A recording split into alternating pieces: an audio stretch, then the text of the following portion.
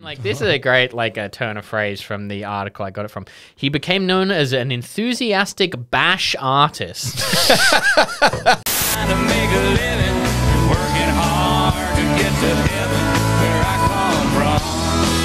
Oh yeah. Hello and welcome along to the Community Notice Board. Ready? yep. You ready to go? Fuck, we're bombing already. we Can't even get a laugh amongst ourselves. you wouldn't think we're free friends. oh god, this is no. Let's do it. All right, 40 minute episode. Let's go. Hello. Welcome to another episode of Community Notice Board, a podcast about suburbs we grew up in, local landmarks, hometown heroes, and coming of age tales. It's just the three kings this week. And we are going. Don't stop listening. Come on, please, give us a chance. I mean, there might be a special guest. but, uh, you know, uh, reset that dial, baby, because it's the three of us. We're riff. No, we're not riffing. We're. Reading off a piece of paper. Yeah, we're, uh, we're doing it again, baby. You might know us from our famous King's Cross Underbelly episode Mm-hmm. where we talked about true crime figures and we figured, how can we do this again? And we decided uh, Melbourne has a Melbourne. gangland scene, a huge gangland scene. I mean, Melbourne was the um, the site of the first Underbelly TV series. That's correct, right? Yeah, Yeah. Well, we'll get in, into that story. Yeah, For so. Melbourne as well has its own seedy underbelly. So we're here to explore it by copying and pasting news articles from news.com.au Mm-hmm, and hoping that makes a good tale in lieu of reading long books. The, don't give away the game. Pulling the curtain back on, on my process. so much stuff on mine where it was just like, and if you're really interested, you can listen to a 10 part podcast series. I was like, I don't think so. we can I'm get gonna- that into a third of one, actually. I was like, I'm going to 7now.com.au and I'm not going to attribute it to anybody. Anybody, absolutely. So we're going Melbourne wide.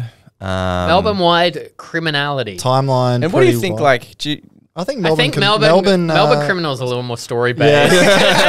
Sydney's I was trying to say that in for so long. I was like, yeah, the Sydney, Sydney, criminals, they're sharp and to the point, bang bang, yeah. Melbourne, they like more to, whimsical. They like to torture you. it's Reservoir Dogs. it's a, it's a solo Yeah, show. It's a one man show.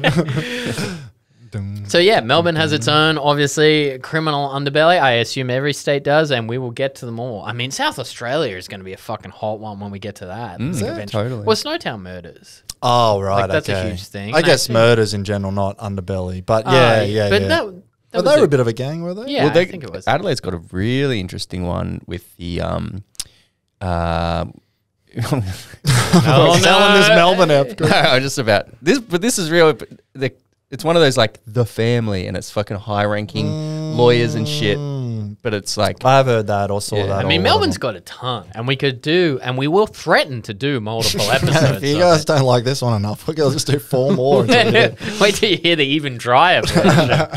but we're going Melbourne, and we're doing it Kings. Uh, the style we did in Kings Cross, we're going to go chronologically. So we're going to go with Al, me, and then Drew. We're going to go Mm. around, but do some information, some of our famous riffs and bits, maybe Classic. a little bit of injecting our personal lives in there too. the cheeky three.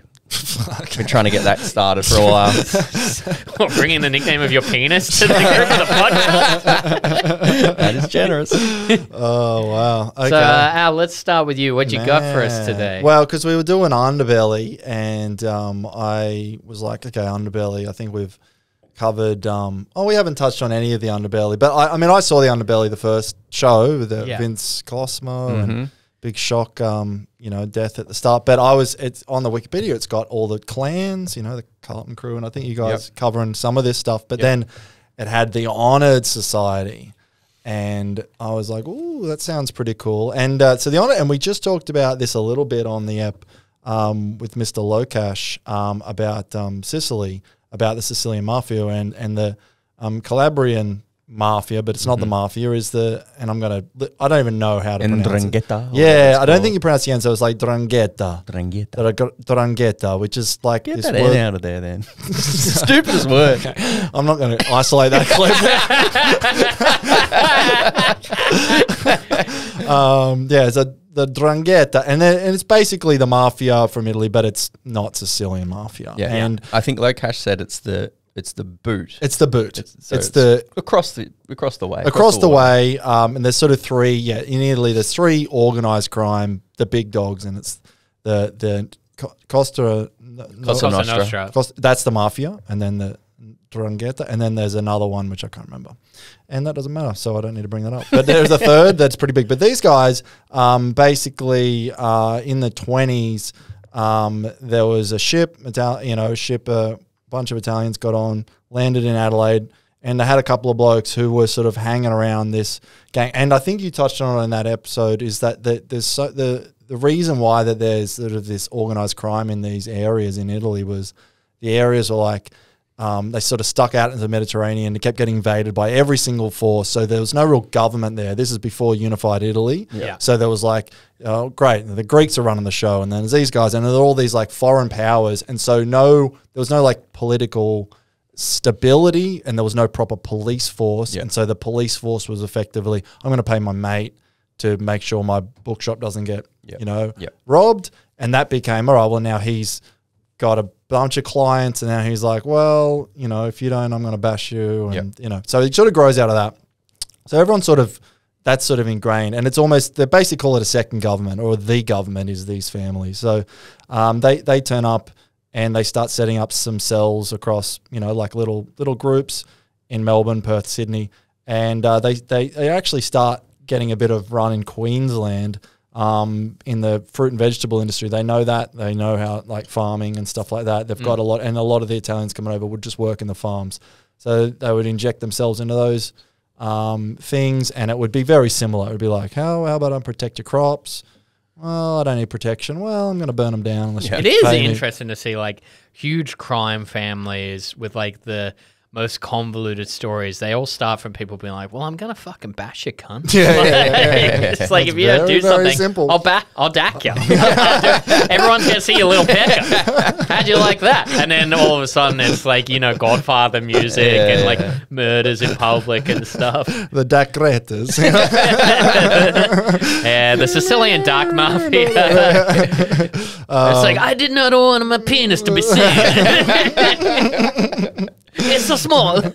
uh, so eventually, um, they start like a lot of Italians start coming into Melbourne, and that's just like obviously one um, a lot of um, uh, a lot of them getting into the fruit and vegetable markets and they're sort of um, and a lot of people are coming over from that from that area and so they're you know used to it um, the the organized crime and it starts growing in Melbourne especially so there's a lot of markets and stuff like that there um, and basically a few things happen the Italian like uh, sorry the Australian cops have no idea what's going on and the the, the Drangheta is actually really good at staying under the radar like mafia in America and Sicilian mafia are, are really headlines, and you guys have got some criminals who are like in the news. Yeah. These guys are really good at staying under the radar. So for ages, they're operating in Melbourne in the markets, just extorting, getting a bit of this, bit of kickbacks, and the cops have no idea. And the cops start.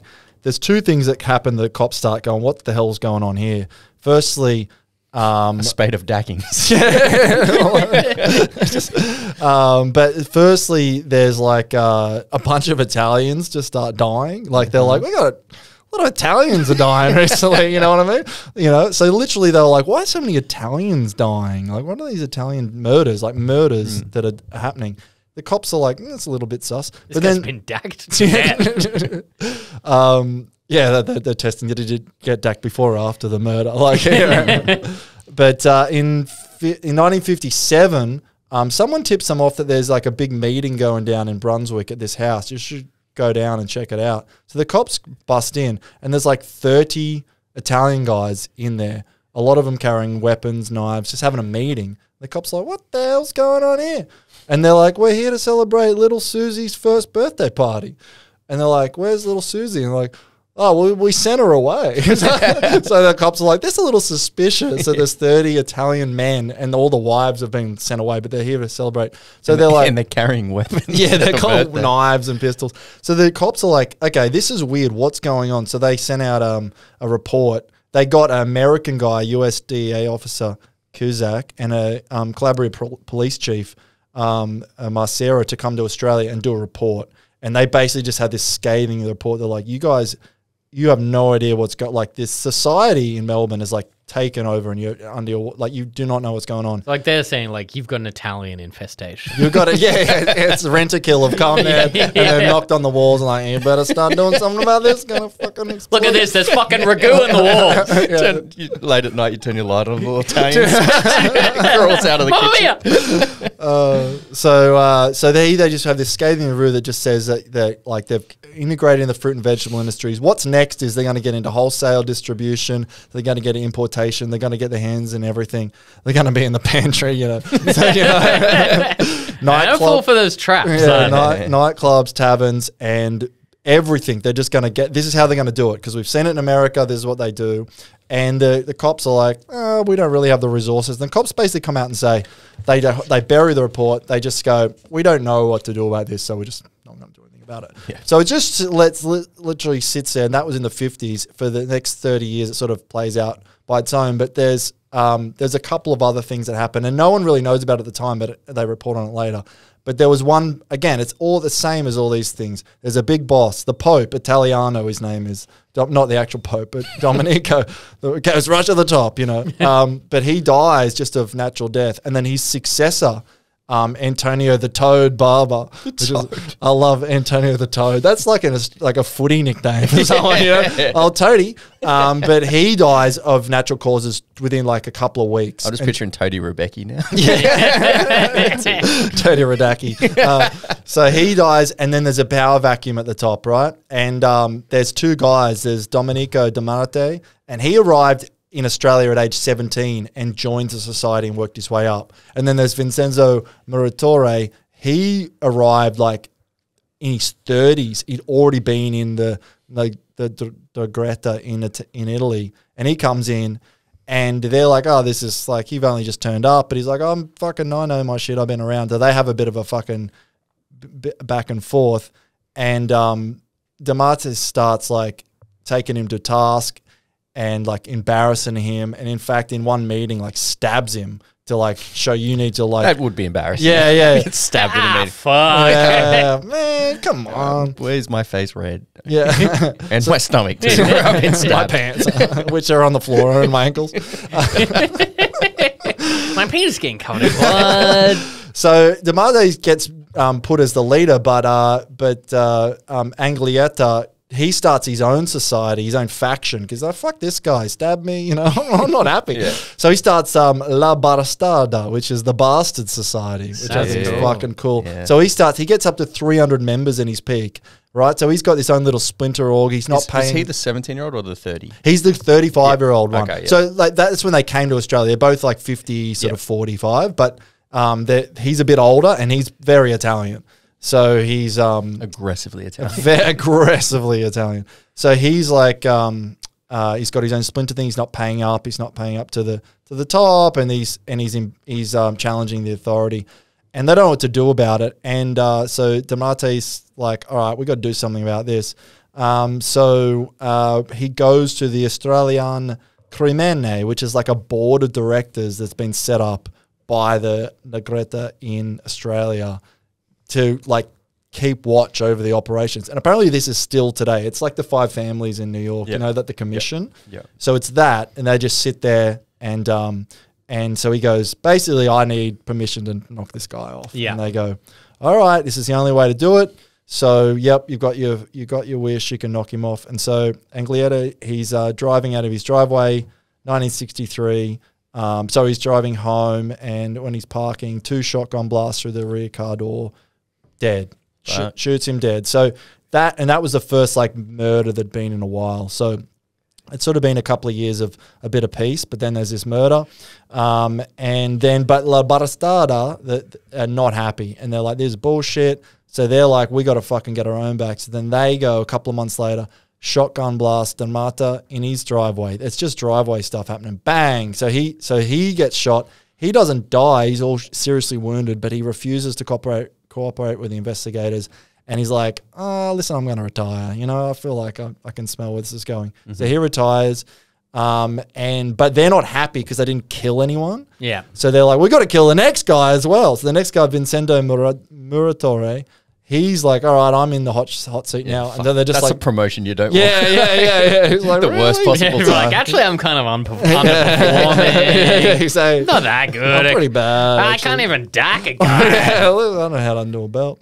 So he goes, uh, he gets shot um, in his driveway again, and he's dead. And then the the, the bastards are like, all right, we've fucking done our done our thing. So uh, eventually, this guy Ben Benvenuto takes over, and he's a bit of column A, column B. He's sort of on both sides. He's a bit of a consensus pick, and he unites the society. And so there's a bit of drama. They're called the market murders, three, two sh- murders and an and a attempted murder in a couple of years. And the cops are still stressing about this report.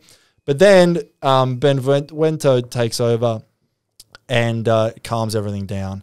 And he starts actually professionalizing a little bit the the the society. The cops are off their case a bit because they stop killing people, but whatever. So he starts. Uh, they've got the fruit and veg market, and it's very simple. As I said, you know, you pay us, and we'll take care of you. And if you don't, we'll, we'll you know fuck you over. They start getting. Um, they've got all these forklifts and logistical infrastructure, and they he sets up. And this is the second Underbelly series, which is the Tale of Two Cities, um, where in the city of Griffith in New South Wales.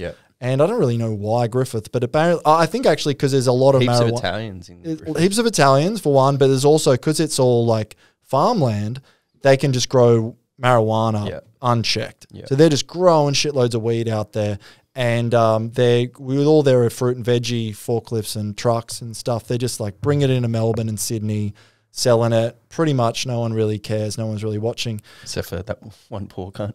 What was his name? The politician they knocked off. Oh well, that yeah, yeah. So that's that's, that's a guy, um, Don Don Matthews. That's I'll talk him, about him in a minute. So he, so the other thing is that they're, um, because there's a lot of work involved, and they need people on the in, they're, and they're very insular. They don't br- they don't bring people in. You can't get patched over. They want, you know, um, Yeah, guys assume from the- you can't get like an Aussie. not bat not even other Italians, only from that area do they want. In- you know, bre- um, so families marry each other. You're in the society. You're not even, you know, um, you got no choice. And yeah, no Aussie battlers, no, not even Greeks or Italians. So they need Italian foot soldiers, and there's a lot of Italians trying to come over here with uh, a bit of history in that um, in the in the organized crime. And the Australian um, they they just dismantled the White Australia policy, but they're very skeptical. So the the immigration minister is knocking back a bunch of people. It's like you you know got all these organized um, crime ties, um, but uh, then Al Grassby, who gets elected, uh, he's the um, he becomes the immigration minister, starts sort of like signing them all through. Turns out he's the local Griffiths, like local electorate member, the division of River, Riverina. So he's basically just like, they're just paying him money. And he's like, you know what I mean? Yeah. Italiano criminale? Oh, yeah, okay. Like, yeah, sure, whatever, you know? So he they start flooding in all these Don Italian- Killuminati. Dakaruno? Okay. Bit concerned there, but sure. So he starts coming. Pinasizio Exposarini? Dakaruna. Man, so glad we can be racist to Italians still. That's like, wow, we've got a Lacasio pass. That's true. That's absolutely true. So he they start getting all this, and then this Don Mackay, he's in the Griffiths area. He's like, I'm. Everyone's growing weed out here. There's all this bullshit going on. He starts campaigning. He he goes in and tries to get elected into um, Grassby's electorate. Doesn't win, but he's like agitating and all this sorts of stuff. And also, he's um, uh, there was a uh, he s- snitches to the cops about to the Sydney drug detectives about all this weed, and it goes to trial. These guys get um uh, four guys get arrested for marijuana trade, and then it just gets leaked that he's the that Mackay is the uh, the source, Ouch. and then um, Don Mackay disappeared from uh, hotel Yeah. car park, 1977, never found again. So it was, and it was the first ever political assassination in Australia. So um, yeah, they just fucking knocked to this him off. day, never found him. Never found him. No, and it's implied, I think, in that Underbelly series I remember watching, it's pretty heavily implied that he's at, on some fucking orange grove somewhere, just like oh yeah, absolutely. Yeah, yeah. Um, they like, like they. Know, I think they did arrest someone, to, but they never found his body or really have any real clue how they were doing it. But basically, there's a little. So there's a little bit of murders. Sassiano, wasn't his name? Sassiano. um, so they basically get a bit more violent, um, but it, they still have a bit of savvy. And uh, so basically, they, they've got this monopoly on the fruit and veg in Melbourne. And so what they do is So funny that it comes back to fruit and It's- veg, it's- like little market. it is shit. like the bulk of their income is that. And what they do is they've bribed a bunch of um, buyers in Coles and Woolies, um, and they and they've bribed them and said, "You have to buy from suppliers that we say are okay." And the buy and the those guys are like, "I guess that's fine," and then they go. Just, th- these guys go to so they're not even buying selling fruit. They've realized it's the suckers game to actually be involved like that. Uh, so they go to then the suppliers and say, if we don't say you're okay, you the Coles and Woolies aren't buying you. So you need to give us 50 cents for every box of fruit you sell or veggies you sell. And then the, the, they go, fuck off, we're not doing that. And then they've got all this trade with Coles, and then Coles all of a sudden don't buy their fruit. Yeah. And, the, and apparently they, the Coles buyers would be like, um, picking faults with it and be like, look, this tomato, it's just fucking a little speck of dust on it. I'm not buying this shit. And it's like, it's fucking nothing wrong with it. It's like, so then they start doing that, 50 cents a box. And they're doing that for years. And that's how they get all their money. So they just they just going, we tell you the list of who to buy from.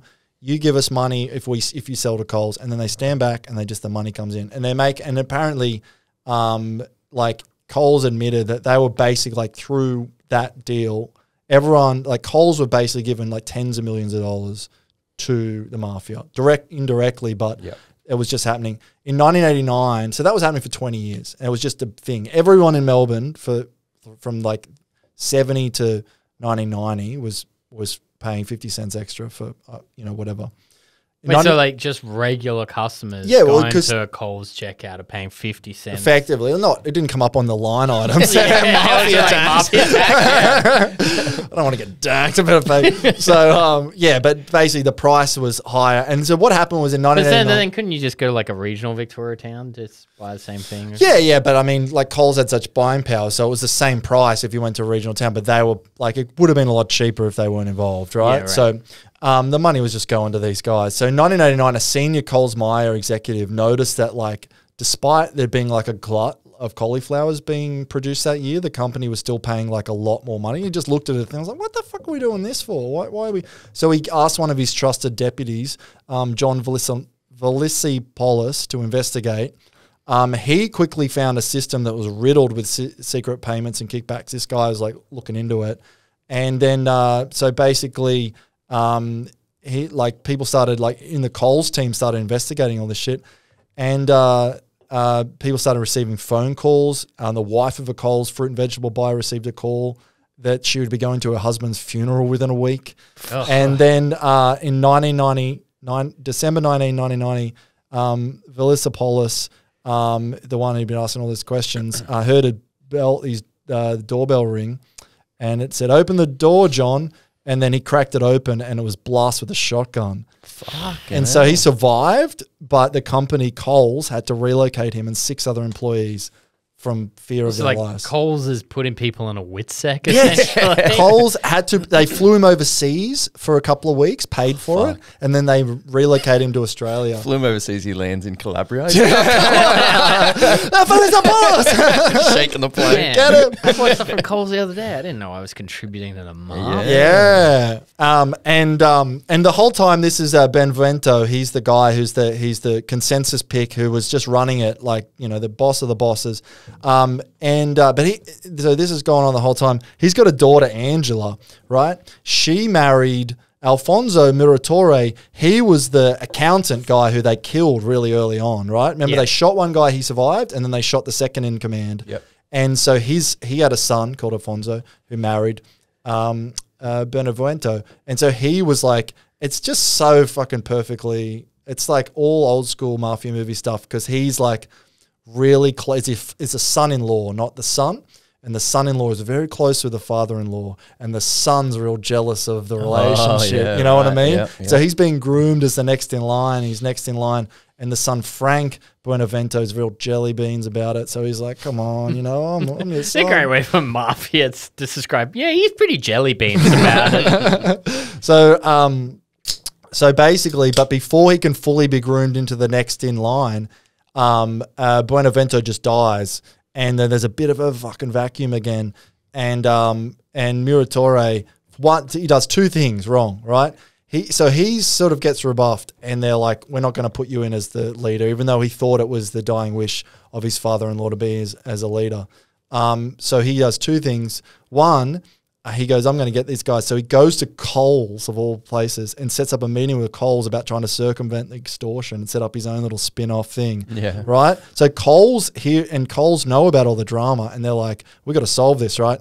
So they're like, they set up. They know they're dealing with the, a, you know, a, like a bad guy still. So they've got like security and all this fucking shit. He So they- walks in, he's like, just in case we're bugged, turns the radio on. It's like, welcome to cold. yeah, yeah, yeah, yeah. So he then um he does that. He tries to set up this deal, but he also because his father-in-law died, he's like, well, I don't have to marry stupid daughter anymore. So he starts cheating on his daughter. Oh, no. And so that's the brother, the the sister of the Frank who was really jealous about it all. And so he does these two things, and then so the no one knows exactly what contributed to it, but. A couple of months later, um, Muratore shot dead outside his Melbourne home, just like his old boy, um, literally in the driveway. Everyone's killed in the driveway here.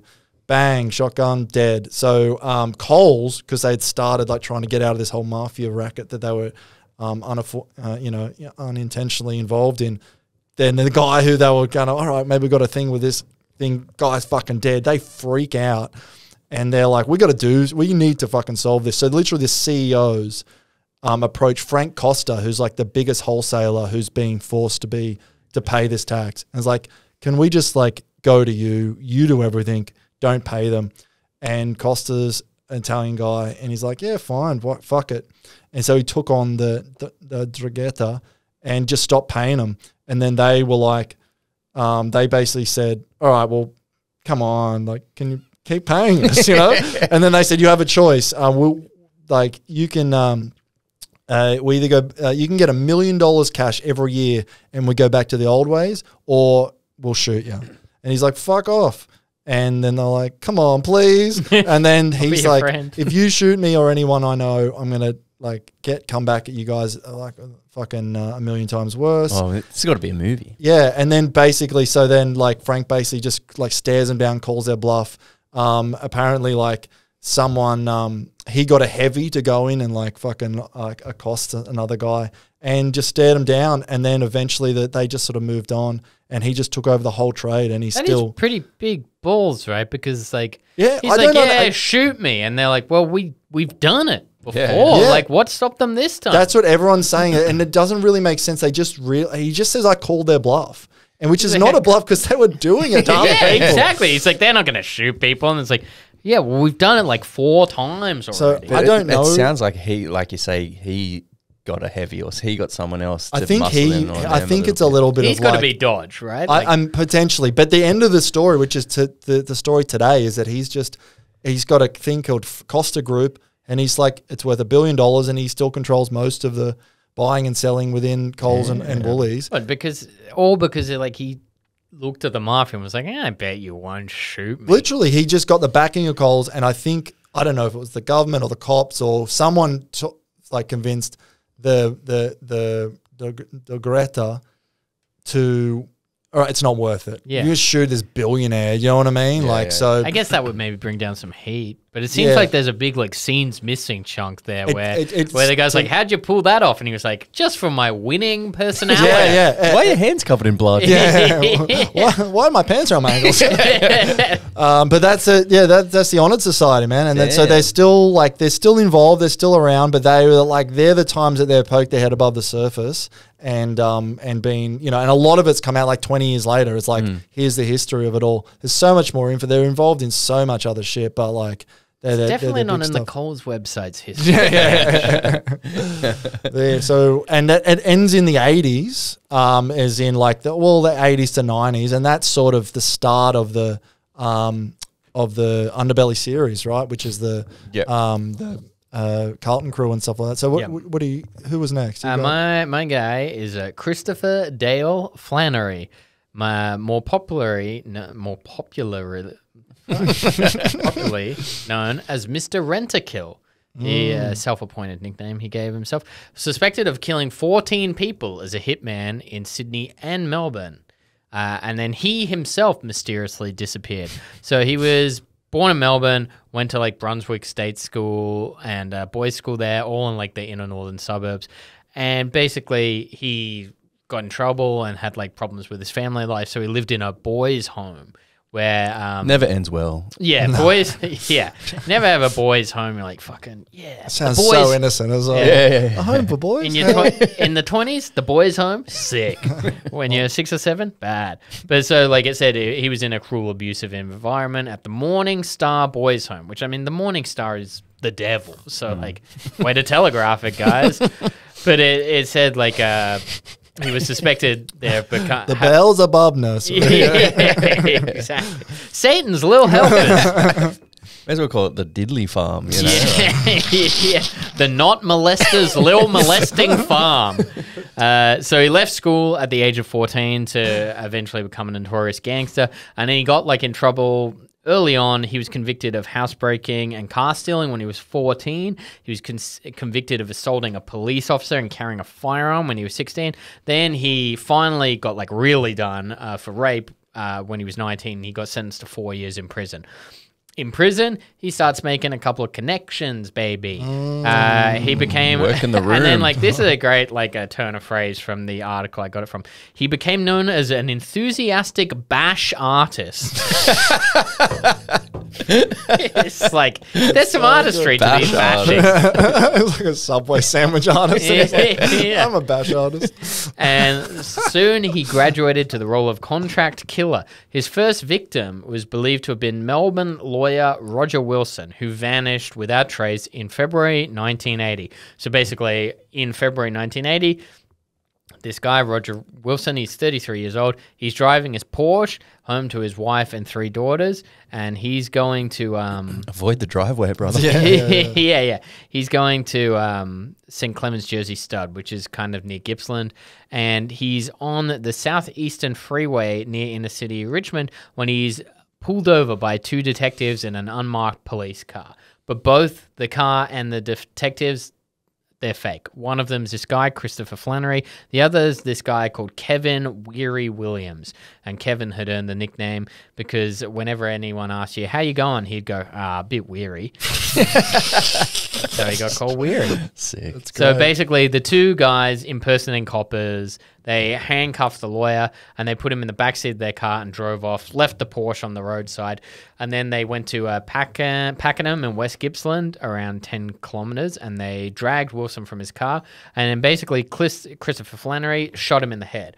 But the thing was, he's a young contract killer. He sucks at shooting. So he shoots this cunt in the head, doesn't kill him. Mate, I'm a bash artist, not a kill artist. Okay. It's hard, yeah, it's hard I'm to graduate from bash artist to kill artist. So he shoots him in the head, When it misses or misses, like gets him, and the guy's like, "I'm bleeding from my head." And this makes Christopher Flannery so mad that he missed, and that the guy's still like shot in the head. It's kind of like you know in Austin Powers where Will Ferrell's character gets stuck and he's like, "Oh no, I'm still alive. I'm very badly burned." This is exactly what happens because the guy's like, "Oh, my head has been shot. Oh my god, it hurts," and he starts like trying to army crawl like away, and so Christopher Flannery. He gets so mad and he pursues him and then basically keeps firing at him in the head until his entire gun clip is empty. Fucking He hell. was like, right, well, I've got to fucking show this guy now. So he doesn't make it very far, but he is crawling on his hands and knees to try and get away from him. So, um, and and do so. Why did they kidnap the lawyer though? Was he just like contract kill. Oh? So they don't. He just didn't get Yeah. told why. There was no personal. So basically, uh, this guy, the solicitor, he was buried in a paddock, and then uh, they did a little housekeeping. They drove back to the Porsche. They drove it to Tullamarine Airport, and they left it in the long-term uh, airport car park.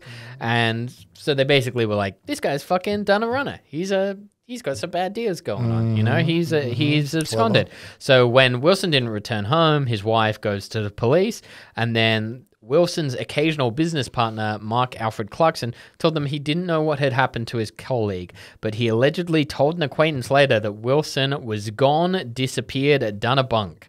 It was a story that had appeal because the Porsche was found at the airport. So this business partner is like, yeah, he's done a runner. And the Porsche is there, so it kind of perpetuates. The breakthrough in the investigation was a tip that the conspicuous Porsche had been spotted in Richmond the day that Wilson had disappeared.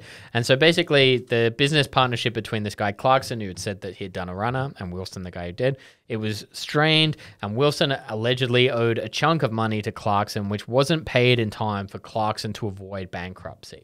So he basically had to declare bankruptcy, and he made his unhappiness uh, with Wilson crystal clear. And then basically, police would later allege that Flannery and Williams were offered 35 grand to dispatch him. And then uh, this woman named Deborah Boundy enters the scene. She's a Weary Williams' girlfriend. He's weary. yeah, I mean, Hi, I'm Weary Williams' girlfriend. Uh, nice to meet you. so basically, um, when Wilson, so basically Wilson's disappearance, eventually people are like, maybe it wasn't a disappearance. Flannery and Williams get a bit nervous, and Flannery tells his mate, if they don't find him for a couple of years, there'll be nothing to, left to identify with him. But he's wrong. So media interest. Uh, prompt Flannery, uh, an, an unnamed woman he was having an affair with, Boundy and Williams. They all decide to leave Melbourne till the heat dies down. They go on a little vacation. They go to the Gold Coast. And then when media interest cools, Flannery returns to Melbourne. Uh, but Boundy and Weary Williams uh, decided on a slow trip back, taking in the sights of Western New South Wales on the way. And in Bourke, basically they stop, and Williams is caught for petty theft. He's caught by the cops, and they go, "Hey man, what's your name?" And he goes, "Well," looks around, Christopher Flannery. Uh, bad move, basically, Oh, no. because Flannery is already wanted in Sydney at that point for the questioning over the murder of a thug and pimp. So the police come in, they're like, name in the world yeah, to give. yeah, Yeah. his criminal associate uh, Ted Bundy. yeah. My name. So basically, the police they call like another set of police in Sydney, and they're like, "Hey, we've got a guy here that's like been pinged for a warrant of murdering a cunt in Sydney." And so the homicide squad arrive in Bourke, and then they see the guy sitting in the interview room, like drumming his fingers, and they're like, "Wait a minute, that's not Christopher." Guy looks a lot more weary than yeah, yeah, and he keeps saying he is too. So they fingerprint him just to make sure fingerprints don't match. So it says, realizing he was in a deep pickle, Williams decided belatedly to stay quiet. But his girlfriend, Boundy, she was more talkative, and she became the lead prosecution witness in the case against Flannery, Williams, and Clarkson for conspiring to murder this solicitor. So because he stole a pack of gum in Bourke, they get Yeah, done. and gave the wrong and gave a bad Oh name. my So It's like uh, you could have been like, yeah, I'm police badge, Yeah. gun, and Stolen taser. chewing gum. Yeah, I'm Wrigley's. I'm Wrigley's. Weary Wrigley's. And so basically, she became the lead witness. And so Flannery, where it says here, with his bad boy good looks, tattoos, and penchant for fashionable clothes, accessorized with just a little too much bling, would make a perfect Instagram influencer today. A little bit of editorializing from this article. but ba- basically, it says this is before social media, obviously. So your chances of exposure are kind of limited. You get like a magazine spread, or you appear on one of the nightly current affairs shows. And that is exactly what Christopher Flannery did. He goes on the top rating Mike Willesee show to brag about how he's a criminal. Wow, so he's an influencer now. Yeah. So it says, like, It's like William. early, um, early Chopper Read style. Yeah, exactly. So he goes on TV and it's just like, yeah, I fucking kill people, dude. It rocks. And that's a bad move too. That it is a turns out. move. Like, in all the moves you can do as a criminal, Yeah. going so on TV. and like you'd think that that would immediately like you go on cr- TV and you're like I'm a fucking criminal. The police would immediately descend on you. That doesn't happen. yeah, if there's one thing that's a running theme of this podcast is that the police don't want to do any work No. if they can help it. No. and they don't. Yeah. But so like he he's on the he's on TV basically, and uh, th- his appearance because he's got all these tattoos and he's got all this bling, it triggers a memory for um, the dead solicitor's farm manager Terence Yeah, Crompton. so the dead solicitor is still not dead. Yeah, he's just crawling the from Pakenham. Turns on the telly. Like, That's that fucking guy. I have 32 bullets in me.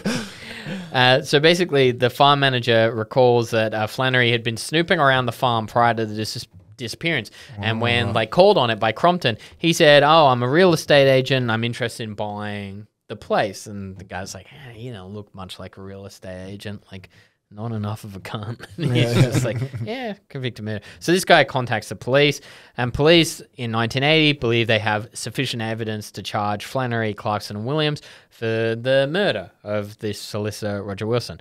Uh, police officers who tried to arrest Flannery had an unwelcome surprise when he pulled a small weapon from his undies. a pistol.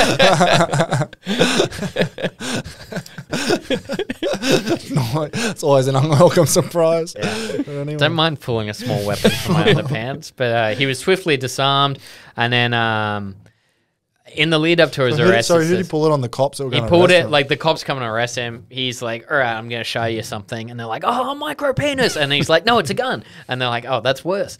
And um, so in the lead up to arrest, Flannery, he's uh, he's already described as a bit of a paranoid bloke, and then he says he's getting increasingly worried that police were going to find the body of this solicitor that they'd buried. So Knowing that it's tricky to prosecute a murder case if the body hasn't been found, Flannery tried to get two of his uh, like his cronies from St Kilda's dis- disco, where he had been a doorman, to dig up Wilson and relocate the remains. And so one of And the he got di- Mike Willesee to come cover it for his program. one of the diggers uh, was named Alphonse Gangitano, who uh, eventually went on to become got waved by immigration into the country. Yeah. Gangitano, that's fine. Murderini gang affiliation. but uh, he That- went on to have like a huge career in the Melbourne underworld as part of the Isn't- Carlton crew. Yeah, yeah. Isn't that um? Isn't that That's Vince Colosimo, Yeah, yeah. Yeah, yeah, yeah. The black. So of, um, basically, Gangitano, uh, he bragged to his criminal crew that uh, like exhuming this body was the worst thing he had to do. So he's like fucking at the pub, just being like, "Oh man, I had to dig up this body. Wouldn't you believe it? Pu, you know." and uh, so basically, at the at the coroner's hearing, uh, bound then this woman Boundy, who was Weir Williams' girlfriend, who became a state's witness, she retracted just about like every useful piece of evidence she'd given to the police, and then also for good measure says that the police assaulted her and fabricated her statement and forged her signature, and so she gets charged for perjury. Um, Flannery and his colleagues they go to trial but claimed innocence, and then Boundy, the state's witness turned tight-lipped person, she goes missing on Christmas Day. Body never found. Wow, really? So even though she re- recanted, She recanted, but it was too late at that point. So they ran what they everyone reckons, but they don't know for sure that Gangitano did her in as well, basically. And fuck, saying basically too much, hey. But uh, so again, body's missing, lead witness is missing. and There's- is Flannery out like out and about, or he's he's in jail? He's in jail, yeah. Yeah, okay. And so jury deliberates for 14 hours. They find Clarkson, Flannery, Williams not guilty. Mm. Flannery walks free from court, immediately arrested and extradited to Sydney for the murder of that pimp that I mentioned earlier. Right. Uh, this guy was murdered in Menai in Sydney South, and he went on trial again, and the jury couldn't reach a verdict. Verdict, so the case was adjourned for two years, and they said that there, there's a book that was written called "Crime in the Digital Digital Age." They said when the trial was due to start, there was a GP called Geoffrey Edelsten. Hey, um, we've who's covered him. come up before in our yeah. podcast, and he gave Flannery a medical certificate deeming him too unwell to stand trial, That's so he could avoid a judge. so he got a same sick note. So he got a Mm. sick note, like, "Sorry guys, Anthony can't come to court today to stand trial. He's got a tummy ache." Mm. And so, obviously, Edelsten, we've covered before, he was jailed for a year for perverting the course of justice. And he also hired Flannery to assault a former patient of his. And Flannery gets acquitted of this murder in Sydney. So he's in Melbourne, he's married with children, it's like, fuck it. I'm moving to Sydney, baby. I'm going to become a bodyguard there. And then he became a part of the gang wars in Sydney, and he was embroiled in the attempted murder of undercover cop Michael Drury. Those who knew him said he always struggled to control aggressive and violent urges. And then there's a book written by a guy named Darren Goodsir called Line of Fire. And he said that basically Mr. Drury had charged Flannery's friend Alan, Alan Williams after an undercover drug raid. So Flannery tries to bribe Drury, be like, hey, get my friend off, brother. And he goes through another person we've mentioned in this podcast before. His middleman is crooked cop Roger Rogerson. And he tries to get him to drop the charges, but the officer refuses. So, um, That's that. in Blue Murder, I think that's a scene where he pops him through the window of Yes, his house. Yes, it's a famous scene where he pops him through the window of his house. So Williams, the guy who's been done, gives Flannery and Rogerson fifty thousand dollars each to kill Drury, and they shoot him. a drive-by at his house. He was shot twice through the kitchen window, and he survives. He's in a coma for almost two weeks, and when he got up, he had a strong suspicion of who tried to kill him. Imagine being in a coma for two weeks and being like, "Fuck, I know who killed me." My boss, Roger Rogers. yeah. Um, so the failed killing it brought enormous heat down on heaps of people, especially Roger Rogerson, because he's got all this crooked cop shit going on, and so Flannery kind of becomes a star on the wane, basically. You know, Right. he's he's No one not. wants Yesterday's news. He's not the hot kid in town anymore. He's made a few too many fuck. It's like Todd Carney for the Raiders, Yeah. you know, a few too many incidents pissing in your own mouth Yeah, and you get couple of shipped off to a bubblers. different team. And so he he was at war with an underworld strongman, Tom Domican, and they were trading uh, drive-by shootings and lashing out with unnecessary aggression at the wrong people. In 1985, associate Tony Spaghetti Eustace, great, a second great nickname. Well, that was his nickname. Yeah, Okay, I yeah, yeah. That was his no, no, last it was his given. his it was middle his name. given middle name. Uh, he was shot dead in the Sydney suburb of North Arncliffe. Two children found Eustace dead beside his gold Mercedes. Flannery is thought to have been the culprit, but Eustace was famously, famously uncooperative with his dying words. So the police come to him and are like, "Hey man, who do you think did it?" And he goes, "Fuck off," and dies. oh shit! Pretty cool. 16 days later, Flannery himself disappears on a on his way to a meeting with a boss called his boss George Freeman. His car wouldn't start, so Flannery calls his boss and he's like, "Hey mate, I can't make the meeting. My car won't start." Flannery's boss, George Freeman, says, "Well, why don't you take a cab?" That's the last known contact anyone has of Mr. Rent-A-Kill. A coroner investigating the death in 1997 found that uh, he was the likely victim of murder and believed that Roger Rogerson had the information on it. The crooked cop told Current Affairs program Sunday that Flannery was a complete pest and didn't do what he told. But now it's been three decades. No one has conclusive evidence of what happened to him. The last thing anyone knows is that he disappeared going in the cab. The popular theory is that he was lured to Freeman's place to check out a machine gun. So people were like, hey man, come over to my place, check out this machine gun. And then he goes missing. Anything- and nothing yeah, ever Is happens. there something down the barrel? Just like, quick could, could you look the- real close? and that's the story of Mr. him. Rent-A-Kill. Far out. The That- bash artist. we're back in. Christopher Flannery, links with your guy. Yeah, well, I mean, they all kind of. There's intersections with a bunch of these people. Um, at least you guys have some funny nicknames like Tony Baked Ziti. Yeah. Well, when you you know when Al's reading out his names, I'm like, thank fuck I've got Carl Williams. Yeah, yeah, yeah. I don't have to struggle around with an Italian name. Um, but yeah, this is obviously Carl Williams, um, who more or less like kind of kicked off the infamous Gangland War um, in Melbourne, which um, sort of late 90s and ended around maybe just over a decade later. Um, so Carl, just a brief overview. He's born Melbourne, 1970. Grows up in sort of northwest area around Broadmeadows. Um, he's got an older brother Shane who died of a heroin overdose in '97. Um, and he grows up. He gets married to a convicted tr- uh, drug trafficker, Roberta, um, with whom he has one daughter, Dakota Williams. She's born uh, 10th of March 2001, and um, we'll get to those two later. Uh, he basically held various labouring jobs before he opened a children's clothing store in partnership with his wife, which eventually failed. Um, and he had a bit like during this time he had some scattered criminal history. 1990s convicted of handling stolen goods, possession of stolen property, and failing to answer bail. Um, fined 400 bucks. Then 93 convicted of criminal damage and throwing a missile. Um, sentenced.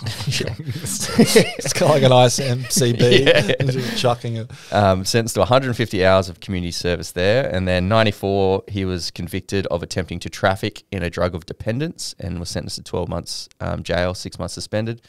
Uh, and then in 1999, uh, Williams, along with his father George and another associate, were arrested and charged with uh, drug trafficking after a raid on a drug factory that had been set up uh, in a unit in Broadmeadows.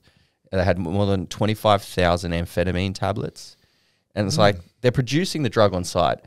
Get a fucking house. Get a detached house. What are they in a They're in a uniblock? unit. Yeah, like, that, you know, Probably Coming up in the even have- strata minutes a lot. Yeah. 12B You've got a lot of fucking dodgy people smoke coming. coming out front of the door. It's crazy. Um, and so yeah, like I said, he was pretty instrumental in this um, Melbourne drug uh, gangland war, which was like, you know, obviously we're all the same age. Growing up, that was huge. Like that was in the papers every day. It felt like. Yeah. I missed just- all of it because I came here in 1999. I don't think I paid any. Well, the biggest part of it was It like was still going. 2001 to 2000 sort of seven. I That was, was when it was all into happening. 9/11 at that point. Um, never forget. Uh, so the the gangland war, basically, a month before he was arrested in that unit block in Broadmeadows, he was shot in the stomach by Jason Moran, um, who was part of, of the famous Moran crime family. Um, and this was over an eighty thousand dollar drug debt, as well as um, they had some issues with his supply. Apparently, it was a bit dodgy, and there was an issue with his ownership of a pill press. There was some like scandal there. So he's producing for Moran to Yes. distribute. Yeah, right. and they're saying you, you your stuff sucks. The Um, Mitsubishi logo is all wrong. yeah, Yeah, it's, a, it's a Datsun or something like that. You're putting a Hyundai on there again. um, but also some people think that there was an issue with his wife Roberta. Apparently, he used to go out with like a Moran associate, and then she jumped ship to fucking Carl. Um, so, a quote from the newspaper article that I read about the, this. So, he's shot in the stomach from um, Jason Moran, and I loved this. It goes, uh, with a sore tummy, Mr. Williams ventured onto his parents' place to celebrate his birthday, and then later that night went to hospital. So he's kicking on. He parties for age, and then he's like, "I suppose I should go. I'm, I do have an open wound in my take stomach." Nexium and uh, yeah, yeah, yeah. I also just love that they call it a sore tummy. Like he had fucking too much birthday cake. Um, and this kicks the gangland war into overdrive. It doesn't really start it. Like you can kind of trace that whole thing back to a, an arrest in '96 of this bloke John Higgs, who was Australia's number one trafficker of amphetamines. And you know we can't. There's not enough time in the day to go through that whole history. It There's a lot of like crime history in Melbourne with the Painters and Dockers Union. Yep. And especially that's the sort of Morans, they all were part of that union, which I think was more Irish, and then the Italian Ndrangheta came in. Um, uh, but ultimately, the war ended up killing directly 36 people over a period of just over a decade, which is like pretty huge. But also, I, like, I don't know if, like, comparatively, is that huge? Like, mafia seems like, I was thinking, because, you know, growing up, I was like, man, this is crazy how many people are dying. And then you think, like, in New York, would the mafia just knock that out in a fucking weekend? Nah, I think that would be pretty big for the size of the city and Yeah, stuff like true, that. Because it's like, I feel like a lot of the other times it's like, and they're all like brazen, like shooting in the driveway stuff. It's not like Oh, some people of them just go fucking missing. pretty egregious. Yeah, yeah. So in terms of like front page murder stuff, I feel like that's got to be a fucking yeah, it's got to right be up there. He um, I just I'll we'll put up photos on the YouTube and uh, like Google if you're listening. He's one of the funniest looking blokes you'll Yeah. ever see. Like he looks like he'd belong at like one of my family barbecues, just with a fucking beer in hand. Like he just such an odd knockabout bloke. In 2002, he meets a hitman called um, Andrew Veniamin, who nicknamed Benji, uh, and he meets him through Tony Mokbel. Classic. I love. I, don't, I think we've maybe brought him up before. Yeah, yeah. I can't remember what. Um, if you the wig. the, the wig, I've, I've brought the photo along just so Oh, we can all. So Oh good. god. He's arrested in one of the worst rugs you'll ever see. So give that of like a he's trying to win a Bert Kreischer lookalike contest. Um, and Benji Veniamin becomes his right hand man. Um, and this guy is like he's Carl's right hand man. yes, Yeah. and he's a very um, adept killer. This bloke. Mm, Uh, so that happened until 2002. He he, uh, sorry, until 2004, I think. Um, he had a weird relationship with Carl's wife, um, Roberta, which if you watch Un- Underbelly season one, it's pretty much it's portrayed as a full on affair between those two, um, but it's not really confirmed if that's you know sort of what happened or if they were just very close. But in 2009, she did claim that he was her soulmate. Right. Nice. Ben, Veniamin. Yeah, so Ah, make it that way, okay. Will. Mhm. Um, so here's a qu- just quick rundown of the beats in the Gangland War as it relates to Williams. So June 15, 2000, Mark Moran, Jason Moran's half brother, is shot dead outside his northwest Melbourne home. And this is all after Carl shot in the stomach. This is that's one year, one year after. Yep. Um, so Williams was charged with murder over this shooting, but charges were dropped when he pled guilty to three other killings. Um, the smartest move, Carl. Classic, classic technique. Eh, I won't go down for this one. I'll go down for three more. the cop's like, I'll give you this tiny little two dollar coin if you give me that big fifty cents. Um, in two, November 10, 20, 2001, so the year after, Williams' home in Hillside and his Mercedes Benz are damaged by shotgun blasts. Um, and he later testified that he believed the Morans were responsible for that one. June 21, 2003, Jason Moran and Pasquale Barbaro are gunned down while sitting in a van watching Moran's children play football. Which this one's the worst fucking one. Um, basically, so they- those these two blokes are in the front seat, and the kids are in the back. There's five kids in the minivan. Uh, two of the kids were Morans, and all were age seven or under, and they literally just shotgun like straight in front of the kids. You know, bl- fucking Blew brains dad- covering. Dad's brains out. Yeah, like pretty fucked up. Jeez. Probably Um, wouldn't play footy that day. Um, August 18, 2003, the badly burnt body of Mark Mallia, a close associate of murdered mob enforcer and drug dealer Nick Radev, uh, is found in a melted wheelie bin. Um, October 25, same year, drug dealer Michael Marshall gunned down in front of his son in South Yarra. Um, 2004, um, the Moran family patriarch Lewis Moran, father of Jason, is shot dead execution style in the Brunswick Club in Melbourne. Um, 2004, police arrests two gunmen near the home of notorious gangster Mario Condello. Two years later, Mario Condello is shot dead in his driveway. Driveway again. I fucking love this shit. Get rid of the driveway. Get rid of um, 2006. That would be the first thing I would do if I was a mafioso. Yeah, just be like I'm. I don't have a driveway. Just parks on the curb right outside of the house. He's like, "Well, they can't get me now." the, the gunmen are all confused. they're like, coming around there, being like, I don't see it. Um, 2006, in July 19, Williams pleads not guilty to the murder of Michael Marshall, but he's sentenced to 27 years over the killing. Um, the outcome of the trial is not revealed until, two, until 2007. Um, so in 2007, Williams pleads guilty to three counts of mur- murder over the deaths of Jason Moran, Mark Mallia, I keep thinking you're saying Jason Mraz. Jason Mraz. Someone ought to take him out. yeah. Um, and Lewis Moran. So he gets done for those three and one count of conspiracy to murder Mario Condello. And he's sentenced to two terms of life imprisonment, given two 25 year jail sentences, all to be conser- uh, served concurrently with a minimum term of 35 years. So he's pretty much away for life at this point. Um, and during this whole time, he's he's a ma- like a big deal just in the drug trade. Like he's getting more and more success. He's getting riches, but he's also doing the opposite of the Ndrangheta, uh, just absolutely going around town, big noting himself. Yeah. Just any media he wants, like you know, he's he's just a hound for it. Um, and at one point, he started referring to himself as the premier because he ran this state. Which is such a fucking bogan thing to do.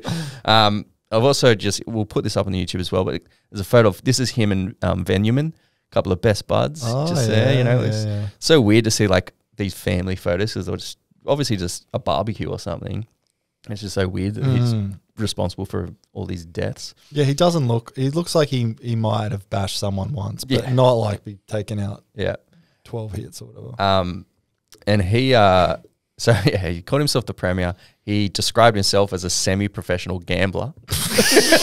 Aren't we all, man? Yeah. On the right day. I'm more of an open mic gambler. Um, and he ended up being uh, banned from the Crown Casino in 2004 by Police Commissioner Christine Nixon under the Casino Control Act. Um, and so Why? this, because he was just a, Ah. because he- well, Hit his too many criminal features, background. Yeah. Um, uh, so this is a quote from his lawyer. This is a few, you know years later. He kept picking Findo instead of Mary Money. And who, why wouldn't you? Um, the good crooks keep a low profile. They laugh all the way to the bank, even if they're using a false name. Running around calling yourself the premier and effectively calling press conferences is not the way to survive long term. None of these people need to uh, needed to invest in superannuation. So you know he's throwing zingers out at, at him. Yeah, right. Um, so that's his lawyer. Uh, so he's locked up in 2007, and that kind of effectively ends the worst of the of the drug war, um, or, or sorry, the gangland war. Um, and then on the 19th of April 2010, he is bashed to death. So he's got a head injury um, in Barwon prison.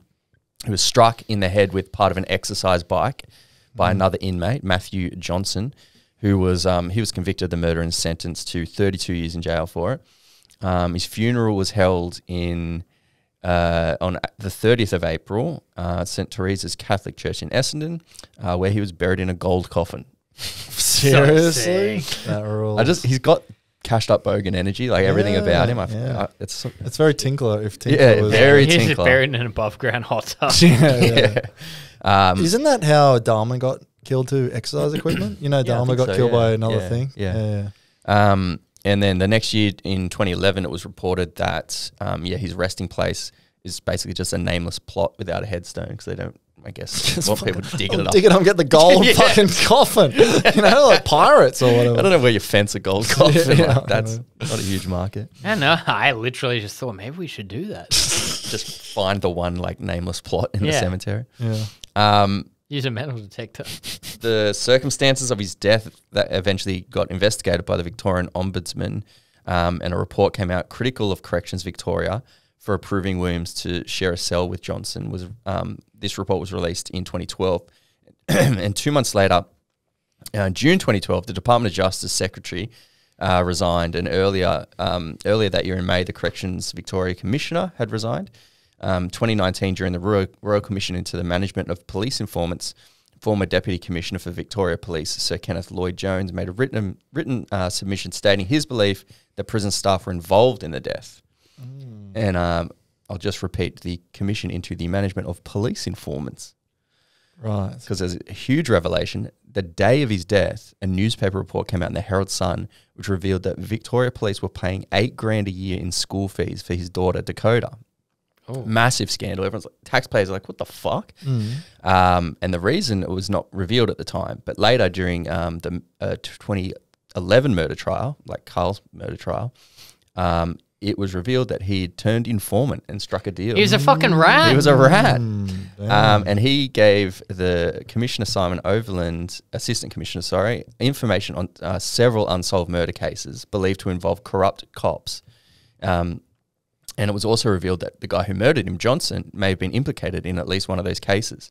So there's speculation that police agreed to pay the school fees in exchange for the information, and the publication of that story could have led directly to his death. Da- So, like, oh, so that came out in the paper and then he was killed yeah, from the fire. the, d- the same day. Oh, damn. And so the cops, it sounded like, you know, the cops. This sounds like the- the cops took a hit out on him, kind Yeah, of. like they were like, "Hey, we're just gonna leave. We're just gonna turn around and leave this exercise bike thing here, Mm. and whatever happens, happens." Right, right, right. Because I thought like if the murderer kills a murderer in jail, you're like, who gives a shit? Yeah, you know, yeah, why yeah. would you have a big thing? But if it's if it was an informant, that's Um, a whole different thing. and since then, um, his daughter and uh, and ex-wife have um, they're both joined only OnlyFans, as you would. um, mum first, then the daughter a week later. Damn. Um, God damn, school and- and went to good use. I Yeah. guess. I kind of feel a bit sorry for Dakota because she's been like just targeted in the media since she was like nine years old. Um, but it kind of makes sense for her to do OnlyFans because like um, she has forty thousand Instagram followers. You can turn that into money straight away. She's an attractive girl. Roberta, on the other hand, that she's a fucking head case. This lady, she's always trying to get easy money. Like she's got a scam every other year, and she she's like Carl. She just loves media attention. There's like there's great videos of her like flipping chairs in a police like uh, interrogation room and shit. Um, after Carl was sentenced to his 35 years in 2007, she offered. um, during the court, during the trial, she offered a snort of coke to the person sitting next to her in court, seemingly unaware he was a policeman's father. so, so she's handing out key bumps while he's getting put away. Um, she also tried to market her notoriety with magazine articles, public appearances, and she did a crime tour. Um, and then most recently, the story with Fuck, her would this been after like Ralph disbanded? I feel like they would have been all over. probably similar time. Yeah, well, 2007. Yeah, they've still been around. Um, yeah, most recently, a journalist at The Age, this bloke, John Silvester, got this email. So it says, John, I need to speak with you urgently and privately. I've been involved in uh, creating the Roberta Williams um, reality show until, until two nights ago when I was almost murdered. It was minutes after my children and mother left the studio in Collingwood. I was tied up, beaten to an inch of my life, extorted, choked with an electrical extension lead, and forced to make calls to my family members to transfer money to Roberta via the studio owner. Otherwise, I, as well as my mother and small children, would have holes in our heads I've been tossing up whether to contact police regarding this, but I'm holding off. I want to speak to someone trustworthy in the in the pu- task force Purana, who I guess is the prime. Yep. You know. um, there are many other things I could say, but being a non-secured email, I won't go into further details. Hoping to hear from you. Regards, Ryan. So that, this is um, directly from the uh, article that um, John Silvester wrote. He goes, I contacted Ryan, who turned out to be would-be television producer Ryan Nomenko, who had planned a reality television program starring Roberta Williams. As Roberta was keen on money but not so keen on regular employment, it was an attractive proposition. She would be paid just for being Roberta, and her profile would again be on the rise. After all, she was bankrupt with assets of two thousand two hundred, uh, sorry, two thousand twenty-two dollars and debts of four hundred and five thousand seven hundred and fifty-nine, including twenty-four thousand in school fees, uh, twenty thousand for a former husband's funeral, and twenty-six thousand to Centrelink.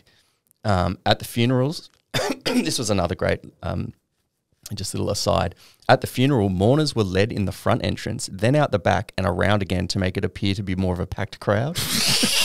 Ah, yeah, done that one a couple of times before. It's the Trump inauguration. Yeah, powerbomb's going off tonight. Um, meanwhile, the gold cross from the gold casket was stolen, as well as money from the priest's rectory. Someone robbed the priest at his funeral. Uh, the, pl- the plan was to raise 50 grand through a GoFundMe page for the reality project. Um, proof that Roberta was no longer a fan favorite was the fact that the page ra- raised $840. Oh my god. Um, Nemenko said he'd been lured to a Collingwood production house where over three hours he was tied up, beaten, pistol whipped, threatened with death until his father and sister handed over some cash. Uh, he's, this is a quote from Robert. Um, they told me I, I owed them 20 grand. They put my phone on speaker and rang my mother, father, and sister to get money transferred. They made me talk to them and said, Say anything wrong and we'll put one in you. Roberta kept screaming that they were going to kill me and the kids. Fucking hell. So then, yeah, she gets arrested for that, and that I think that was the video where she's being interrogated and she starts fucking flipping the table and stuff. But here's another photo I'll, I'll- we can chuck up on the YouTube. I'll send these all to you, Al. Just a little family photo of of Carl, Dakota, and and Roberta, and just have a look at fucking. He's looking directly at the camera. He knows a photo's being taken. That's the face he goes with. It looks like he's like a bullet is entering his brain. He's the dopiest Yeah, looking guy. was he in a driveway or some shit? But yeah, that's our boy Carl. There And you that go. is our boy, the episode. Yeah. Wow. Well done. This is why Jamie leads the pack here. I mean, Drew The stumble over wordsmith. names and places.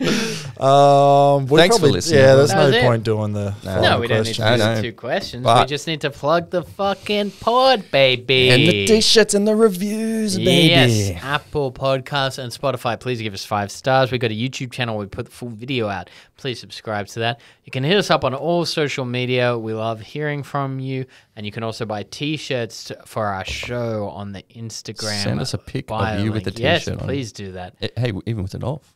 yeah, yeah. Maybe we're just uh, on the bed. um, but apart from that, man, what a fun episode. Yeah, we learned a lot. And we'll be back next week with another bangaroony. Catch us later. Yeah, bye. Bye.